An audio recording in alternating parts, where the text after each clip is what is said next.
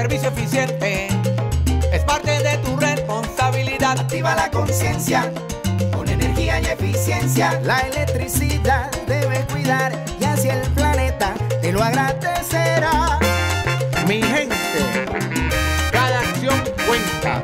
Hagamos uso racional.